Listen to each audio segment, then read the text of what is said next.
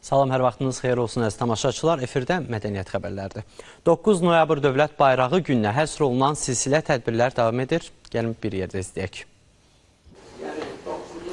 Azərbaycan bayrağı hansı ölkədə yaşamasından asılı olmayaraq bütün vətəndaşlarımız üçün müqəddəs dövlətçilik rəmzlərindən birinə çevrilib. Bunu 9 noyabr Dövlət Bayrağı gününə əsr olunan tədbirdə Bakı Mühəndislik Universitetinin rektoru Havar Məmmədov dedi. Bildirdi ki, bayrağımızı uca tutmaq, vüqarla dalğalandırmaq hər bir gəncin vətəndaşın borcudur. Millət vəkili Musa Quliyev üçrəyli bayrağımızın xalqımızın azadlıq məfkurəsinə, milli mənəvi dəyərlərə və ümumbəşəri ideyalara sadiqliyi nümayiş etdirdiyini söylədi. Qeyd etdi ki, ölkə başçısının müvafiq sərəncamları ilə Dövlət Bayrağı Muzeyi və Dövlət Bayrağı Meydanı kimi memorial abidə istirahət komplekslərinin yaradılması dövlət bayrağına olan xüsusi ehtiramın nümunəsidir.